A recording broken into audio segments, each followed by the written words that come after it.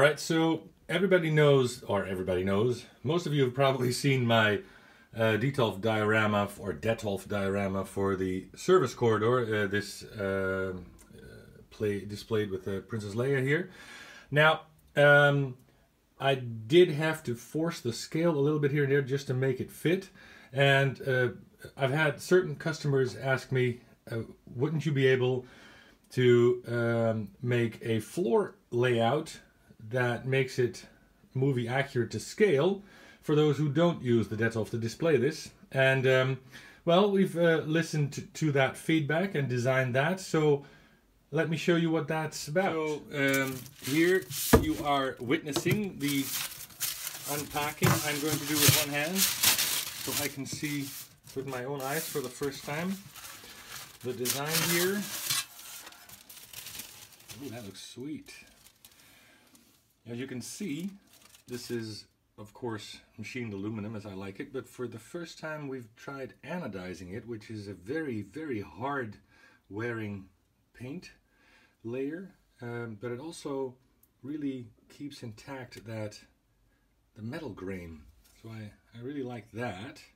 And this is exactly to scale. So the same depth as the original floor that came with the kit, but the actual correct width.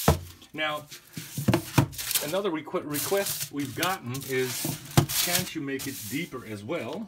And we thought again, what great customers we have, what great ideas they have.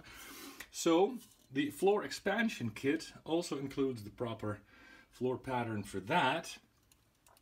And together, you're free. Uh, the reason I separated this, by the way, is so you're free to choose whether or not you want to use the, uh, the, the or have the, the room to use the back end here.